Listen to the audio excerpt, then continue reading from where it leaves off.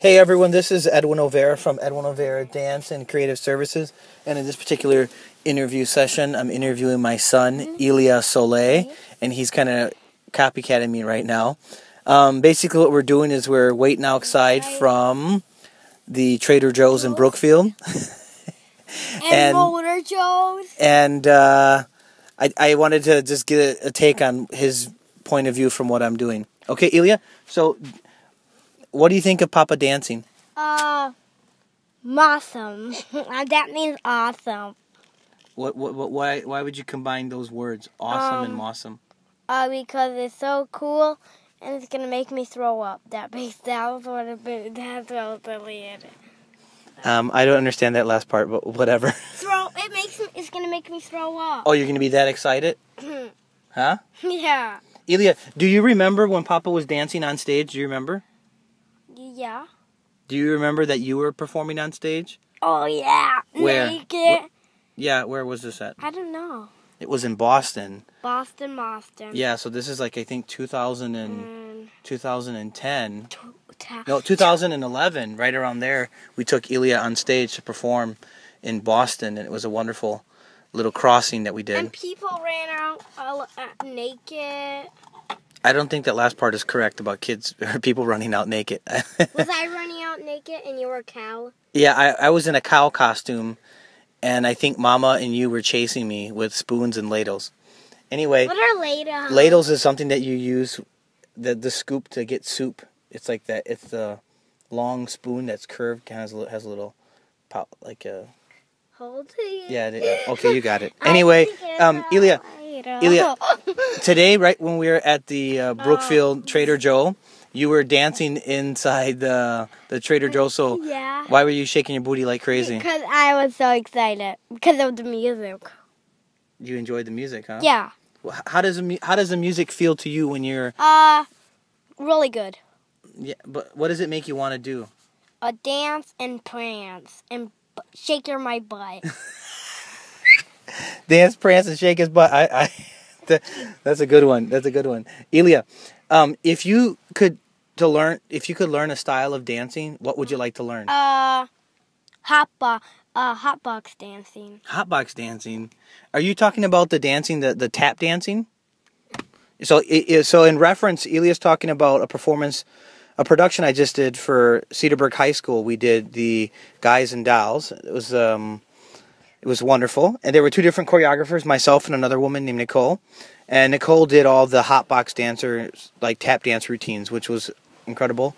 Um, and the beautiful thing about Ilja watching this show is that it was his first time sitting through a, a full No, I- evening production uh, of a musical. Normally he gets a little antsy, or the lights get a little funny. But he did a, you did an awesome job, didn't you? And you like the hot box dancers? Yeah. Did you like the girls, or you just like the dancing?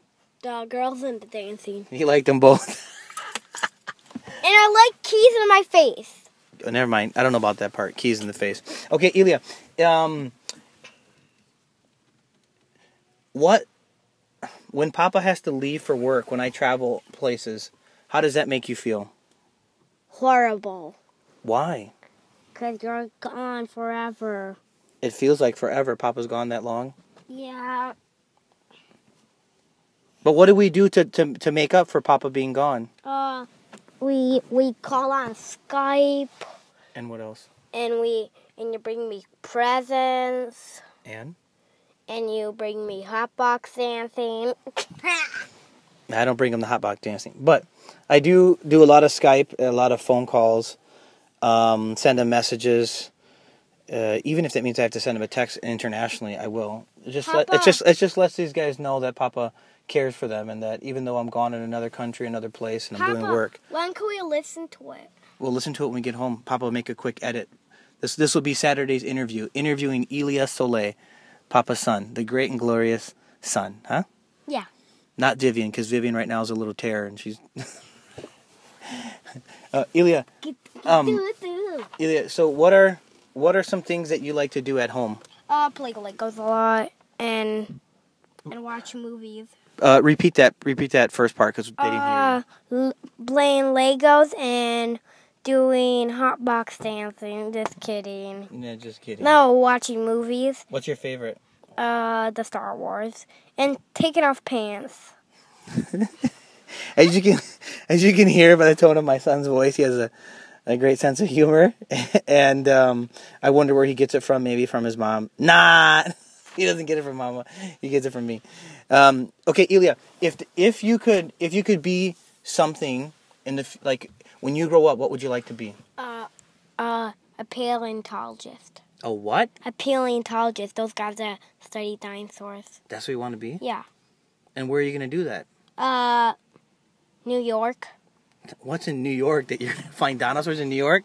You're gonna find the dinosaurs in the museum, but not where Uh, in deserts I might find. in them. deserts and where else?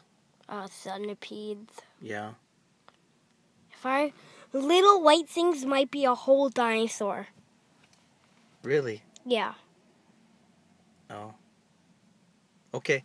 If Ilja, um, you know how sometimes Papa has to go to New York. Did you like your time being in New York and Connecticut? Yes. Why? Cause it's so fun. What's fun about it? The Burj Khalifa. there.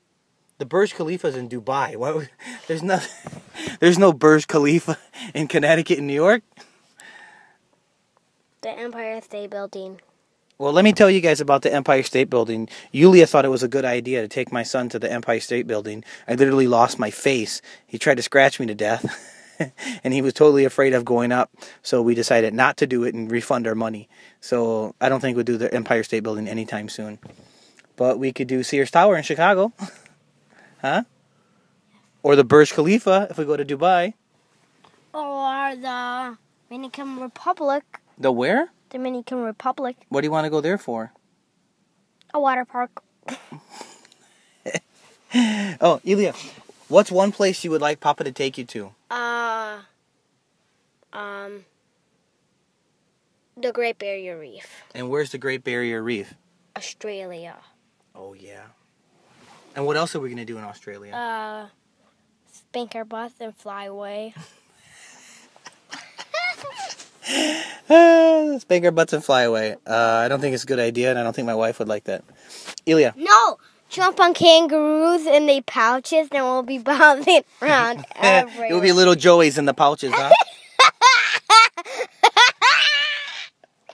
Oh, oh my God, Ilja, if, if you know, you, you know how you've seen Papa do a lot of performances, um, and and you see Papa training and like working on props and all this stuff. yes. Um, would you like to learn how to do stilt walking? no way. I may fall on my head. So, I might be a still walker that has that stands on his head and walks on stilts in the air. a head walker? Yeah, That's and stilts are attached to my hands. Oh, so you're walking on your hands and your head, huh? Eh, no, my feet. Oh. I'm gonna be a tall dog walker. Oh, dog what- walker. Oh, that's so you have you'll have stilts on your hands and your feet. Yeah. Okay, that sounds better because the other one I was kind of confused, walking on your head. Um, what about the shadow puppetry stuff? How do you like that? Uh, good. It's Wha- gonna, it's gonna, it makes me feel like I'm gonna barf. A lot of times. no, not now. You're now you're being a little sassy, Ilja. So you know how sometimes we play shadow stuff and we Uh-huh. do it, we do it like in in the, you know practice in the bathroom and in the living room. What's your favorite shadow thing? Uh, a Star Wars. The Star Wars, huh? What? How It, much more time do we have on this? I don't know. How long do you want to keep talking for? I want to end. Okay, say thank you everyone for listening. Thank you everyone for listening and Marchigar. What? Marchigar. What's Marchie Car? I just made that up. That's Marchy Marchigar. Okay, we, Welcome to the ER. Bye bye, Mr. ER head. Woo woo. so he's referencing the ER, the ER physical comedy. Um, about like four years ago, Roberto and I and another gentleman named Evan Adler and Anthony o- Oliva, we all created this uh, ER physical comedy website and everything. And today, t- oh, hold on, hold on. Yeah, well, um, we Thanks We spent- ER. Yes, was- we spent a lot of time, uh, heart, passion, soul, everything invested into it. And you know, we just took a break from it, just because all of us lived in different places around the world. Can but I, can I but but there's a special place. Welcome to the Meat Mar. Uh, that, woo, th- woo. there's a very special place. I feel uh, Ah, in my time as a that was all done. Yeah, it is almost done. I'm just letting people know about Mama's the. air- already coming. Well, that means that we have to be done since Mama's arriving. Um, Let's say goodbye, everyone. bye, Mr. E.R. Head. Okay, goodbye, and we'll talk to you soon. Uh, and stay tuned for next week's uh, Saturday session.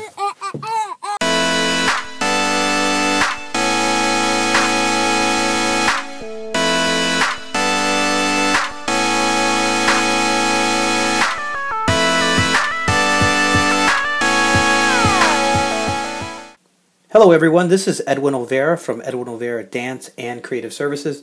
In this particular Friday session, I'm going to be talking about five important reasons why you should document your work as a freelance dancer. Well, here we go. Number one, it's going to help you when you're updating your website or any of your social media content. Like, for example, I did a project recently with the Milwaukee Jewish Day School doing some shadow dancing type stuff. Um, it shows other people who are watching and supporting my work as my fans, friends, family. It shows them that, you know, as a freelance dancer, I do all this physical stuff, but then there's also this other component, which is a storytelling, puppetry, prop play. So it shows another side of me to my fans and friends and other businesses that are watching what I'm doing. So again, updating your content online. Uh, number two, it's it's a great way for you to have materials when you are submitting an application or um, trying to get hired by a nonprofit or for profit, for example, in school program or after school arts program. A lot of times they want to see what you've done over the last couple years to see if you're a great match, first of all, with the organization or with what they're um, doing on site or off site with, um, with their programs. Uh, some of the programs that I've done in the past have been like kids yoga classes, um, and what I've done is I've for those particular things is I've collected quite a few of uh, images and drawings that these students have done during times of reflection when we did like meditation using mandalas and the kids created mandalas for themselves. Or um, having them write down in their journal things that they've experienced just being a part of that whole 10 week program. Um, because when you're working with nonprofits a lot of times the documentation which you use or you generate in those classes help them get grants and